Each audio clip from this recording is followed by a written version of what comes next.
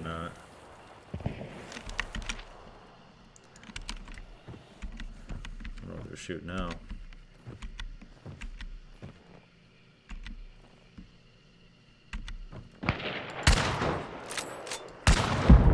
About that one.